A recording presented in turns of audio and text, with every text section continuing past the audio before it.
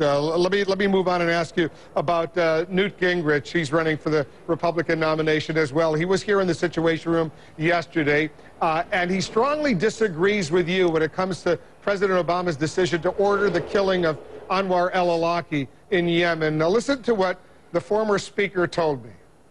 The fact is, uh, Congressman Paul is wrong about uh, the law. He's wrong about the Constitution. And the president was exactly right legally, and he was exactly right morally in killing somebody who was a threat to everybody. All right, so go ahead and respond to Newt Gingrich. I'd, I'd ask him to uh, read the Fifth Amendment. Uh, it's pretty clear that you can't take a life without due process of law, especially of an American citizen. So I would say that he's way off base. This is historic. We've never had a policy that said that we can put somebody on a on a uh, on an assassination list by a secret uh, tribunal, so to speak. We don't even know what the qualification is or the or or the criteria to put somebody on this list.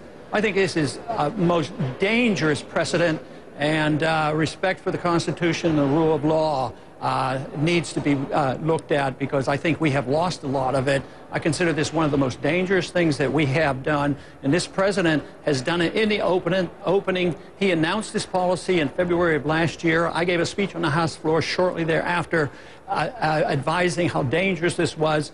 And uh, this, this means that uh, we have very much violated the whole concept of the rule of law because Newt Gingrich, in defending the president's decision, says Anwar al-Awlaki was an enemy combatant of the United States, and over all the years of warfare, the U.S. has been able to kill so-called enemy combatants. So what do you make of that argument?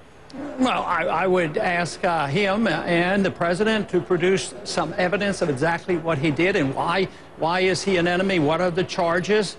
And, you know, if we can try Adolf Eichmann, uh, the Israelis tried him in 1961, don't you think we could try somebody like al-Awlaki or, or, at least, you know, recognize that individuals should be captured when possible and tried? But this uh, enemy combatant, anybody can, you know, the, and the, the word I think uh, has already been used is that he was a threat. I think uh, Gingrich used that word, a threat. Well, I'm anti-war, and I might go to an anti-war uh, rally, and uh, what if the administration said Ron Paul is a threat? Somebody in the media, he's a threat. He's preaching that the government is doing wrong with the foreign policy. This, to me, is a very, very dangerous precedent. So would you support uh, articles of impeachment against President Obama for, his, for this decision? I haven't introduced him, but I think it's an impeachable offense if uh, the mood of the country was such that they wanted to do it. Yes, I could support that. Ron Paul, uh, Republican presidential candidate, as usual, thanks very much for coming in. Okay, well. And I write about uh, this whole debate over the killing of uh, Anwar al-Awlaki.